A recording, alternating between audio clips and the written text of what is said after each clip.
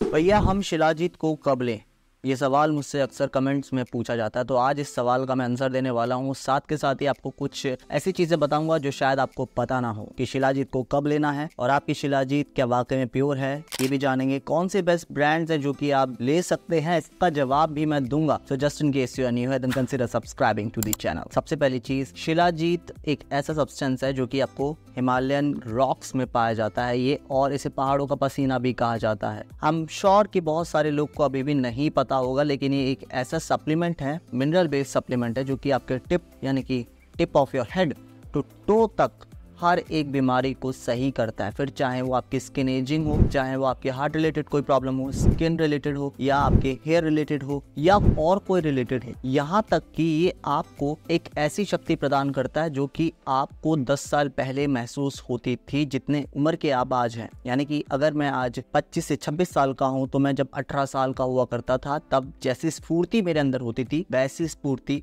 मुझे इस सप्लीमेंट को लेने के बाद महसूस होती है। और आप मेरी ना माने, आप रिसर्च कर सकते हैं, किसी भी डॉक्टर के पास जाके पूछ सकते हैं। वो हमेशा आपको यही बोलेगा कि हाँ वाकई में शिलाजीत में ये सारे बेनिफिट्स होते हैं। क्यों?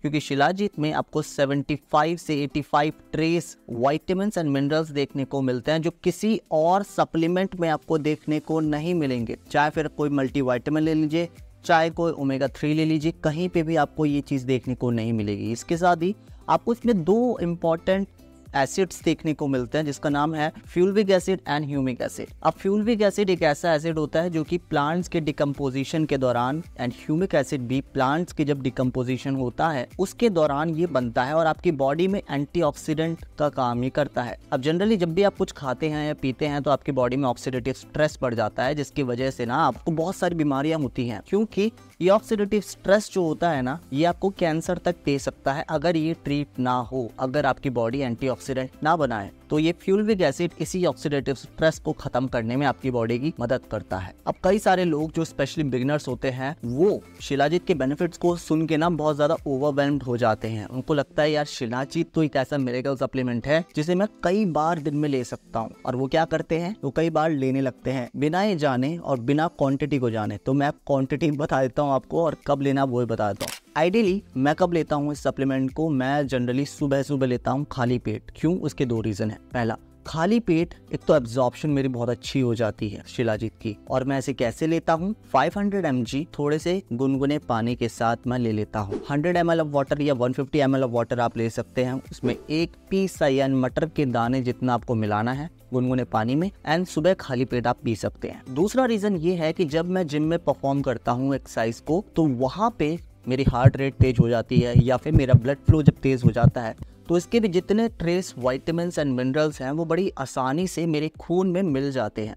आइडियली क्या होता है, किसी भी सप्लीमेंट को पचने के लिए टाइम लगता है, उसके जितने भी वाइटामिन हैं मिनरल्स हैं, वो टाइम लेके आपकी बॉडी में एब्जॉर्ब होते हैं। लेकिन जब आपका खून का प्रभाव तेज होता है, उस टाइम अगर उससे पहले आप कोई भी ड्रग लेते हैं ड्रग इन सेंस सप्लीमेंट लेते हैं तो वो जल्दी आपकी बॉडी पे असर दिखाता है। इसी वजह से मैं इसे सुबह सुबह लेता हूँ। अब कई लोग ऐसे होंगे जो जिम नहीं जाते होंगे तो आप इसे शाम को ले सकते हैं दूध के साथ। गुनगुना दूध लेना है और उसमें चीनी बिल्कुल मत मिलाएगा चीनी का ध्यान रखिएगा। बिना चीनी मिलाए आपको ये जो शिलाजीत है, आप ले सकते हैं 500 हंड्रेड अगर आप बिल्कुल ही बिगिनर है तो आपको 500 हंड्रेड नहीं लेनी है। आपको 350 फिफ्टी या 250 फिफ्टी से शुरुआत करनी है। बिल्कुल इतनी सी होती है जितनी मैं दिखा रहा हूँ आपको। बिल्कुल जरा सी।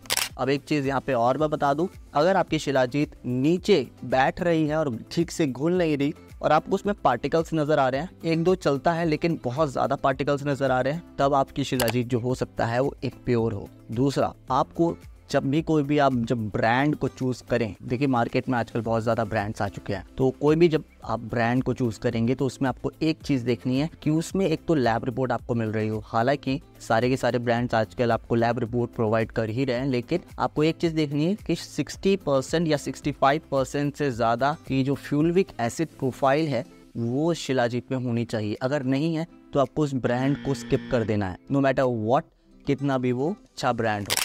Some of the good brands are Sesa, Wow, New Herbs, and one of them is Kapiva. ये कुछ अच्छे ब्रांड्स हैं जो कि मैंने पर्सनल ट्राई कर रखे हैं और इनकी इंडिविजुअल वीडियो भी बना रखी है। इनमें सभी में 60 परसेंट से ऊपर आपको जो प्रोफ़ाइल है वो देखने को मिल जाती है। तो आप इन ब्रांड्स के लिए जा सकते हैं। अच्छा बात करें टेस्ट की तो आप टेस्ट से भी पता लगा सकते हैं कि आपकी जो शिलाजीत है वो प्योर है या इम्प्योर है।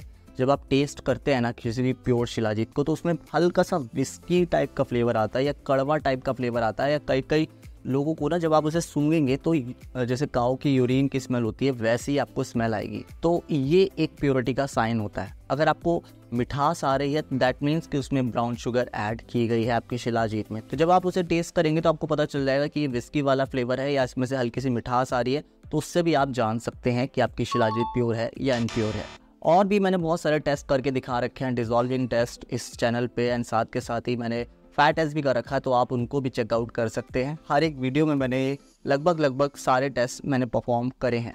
एंड एक चीज़ का खास ध्यान रखना है, अगर आप पहली बार शिलाजीत को इस्तेमाल करने वाले हैं तो बहुत ज़्यादा इस्तेमाल नहीं करनी है। आई नो ये बहुत ज़्यादा ओवरवेलमिंग होता है। आई नो कि आपको लगेगा कि यार इतना ज़्यादा पावरफुल स्टफ़ है तो मैं ले लूँ इसे काफ़ी बार दिन में, लेकिन ऐसा करना नहीं है, हमेशा याद रखना है। अगर आप किसी भी मेडिकेशन को बहुत ज़्यादा भी यूज़ करोगे, तब भी उसके साइड इफ़ेक्ट आपको झेलने पड़ते हैं, ठीक है? तो आपको जितनी मैं अमाउंट बता रहा हूँ, उतनी ही यूज़ करनी। Five hundred M G a day is enough मैं खुद 500 हंड्रेड एम जी से ऊपर नहीं बढ़ता हूँ। बहुत रेयरली मैं ऊपर जाता हूँ तो आपको भी यही चीज़ करनी है। और मैंने आपको अच्छे ब्रांड्स उसके बारे में बता ही दिया है। इन सब के लिंक मैंने आपको डिस्क्रिप्शन में दे दूँगा, मैं आप चेकआउट कर सकते हैं और उसमें खुद से देखिएगा आप कि इसमें फ्यूलविक एसिड कितनी है। अगर आपको फ्यूलविक एसिड दिख रहा है कि यार 60 परसेंट से ऊपर है तो आराम से आप उसके लिए जा सकते हैं। बहुत सारे लोग मुझसे ये कहते हैं कि ये वाला ब्रांड नहीं भैया, ये वाला ले लें, ये वाला ले लें। लगभग लगभग हर एक ब्रांड जिसका फ्यूलविक एसिड प्रोफ़ाइल 60 परसेंट से ऊपर है, वो अच्छी कैटेगरी में आ जाता है, ठीक है? आपको ये चीज़ ध्यान रखनी है। तो आप एक बार ऑर्डर करें आप एक बार उसको ट्राई करें एंड देन आप अपने रिज़ल्ट मेरे साथ शेयर कर सकते हैं। उम्मीद करता हूँ इस वीडियो से आपके सारे कन्फ्यूज़न दूर हुए होंगे। अगर आप चैनल पर पहली बार आए हैं सब्सक्राइब ज़रूर कीजिएगा एंड मैं मिलता हूँ आपको अगली वीडियो में। बाय